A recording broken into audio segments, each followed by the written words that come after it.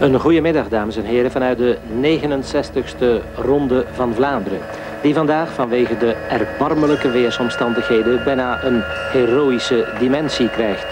Ware slagregens hebben het peloton vooral op de kasseien uiteengeslagen.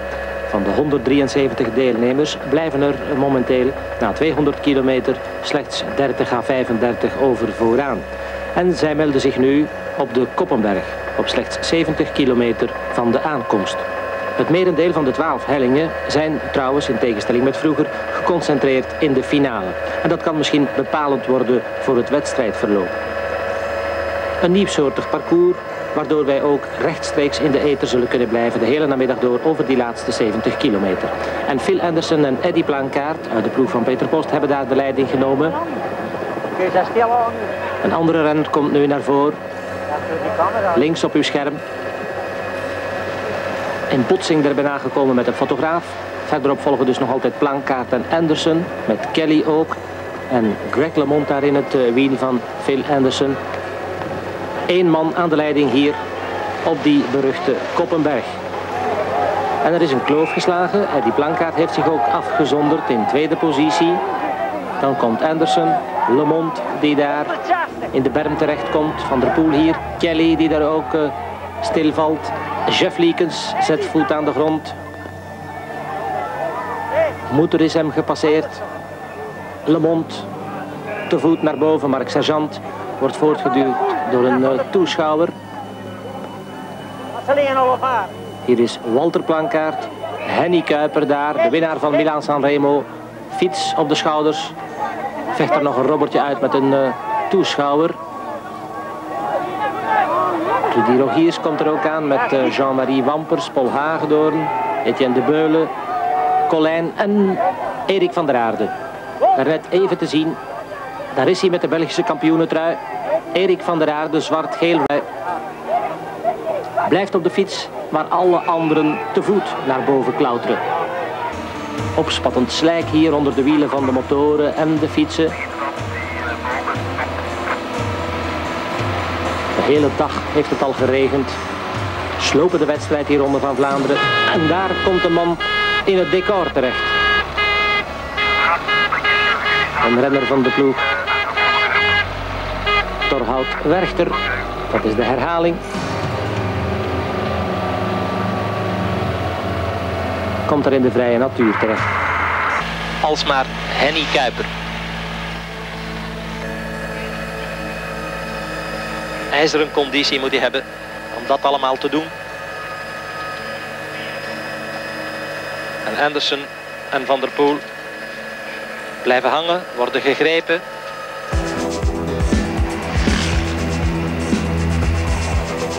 Demarage van Van der Aarden in de achtervolging. Kelly blijft zitten, Anderson kijkt uiteraard om. Liekes heeft er net een inspanning gedaan. Verhoeven blijft zitten, Van der Aarde weg. Verhoeven reageert nu toch en Phil Anderson countert hem al meteen. En meteen heeft hij een kloof geslagen.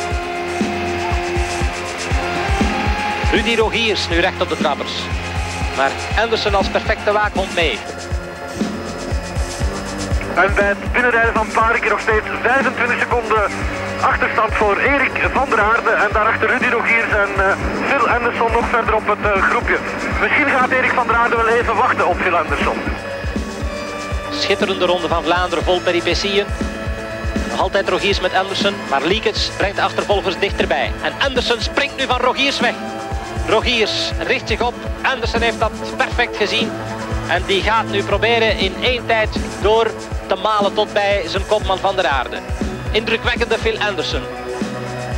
Ja, Van der Aarden heeft het begrepen. En nu met z'n tweeën achter Kuiper aan.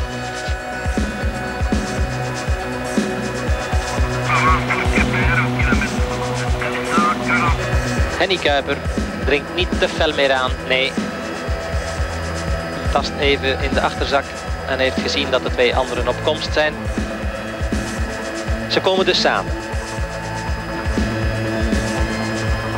Van der Aarde trekt zijn regenjas uit.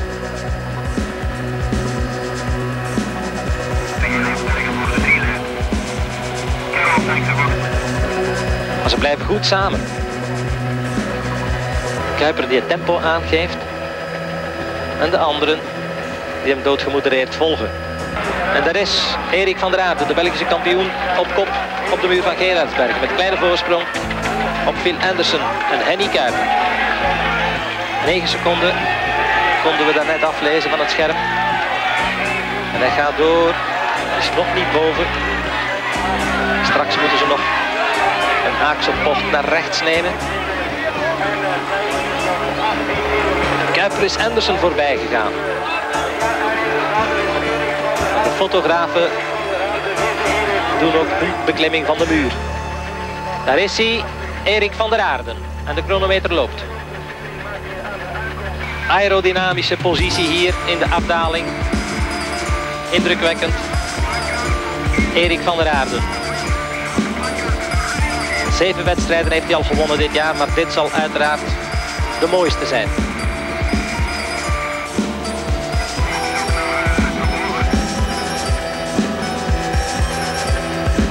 Voorsprong van uh, Erik van der Aarden is nog groter geworden, drie kwart minuut. Dus Erik van der Aarden op een kilometer of zes van de aankomst. Na een uh, schitterende ronde van Vlaanderen, van alle renners eigenlijk, maar uiteraard van Erik van der Aarden. Rijdt hij dus nu op zo'n kilometer of zes van de aankomst in Meerbeke met een voorsprong van 45 seconden.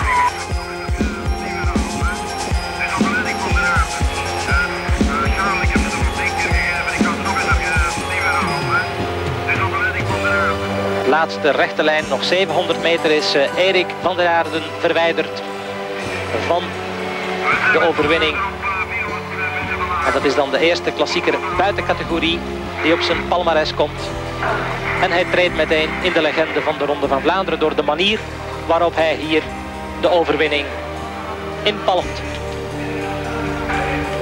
Een absolute topprestatie. En Van der Aarden bereikt dus als eerste de streep mag rustig omkijken. Eerste Erik van der Aarden. Daar komt hij. Groet het publiek. Mooier kan het niet.